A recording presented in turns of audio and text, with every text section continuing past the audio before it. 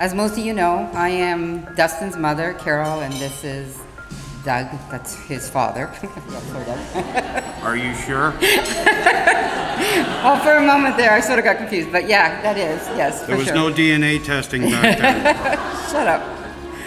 So over the last six years, uh, we've gotten to know Michelle. We loved her instantly. Um, she became a part of our family.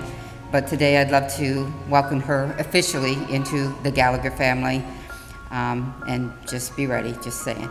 Um, Dustin growing up, well, uh, we went through his teens and I got a lot of gray hair and uh, he made me old fast. But over time, Dustin has become a very responsible, caring, and loving man, and uh, we could not be prouder of him.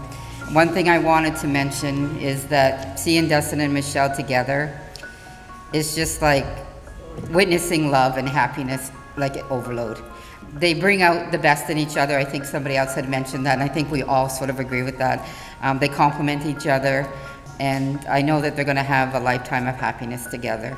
Today is the beginning of the rest of your guys' life together, and we couldn't be happier for that. We are so proud of the two of you, and we'd like everyone to raise their glass, even though I forgot mine, and cheers to the new beginning of their life together. Cheers! Love you both. Thank you.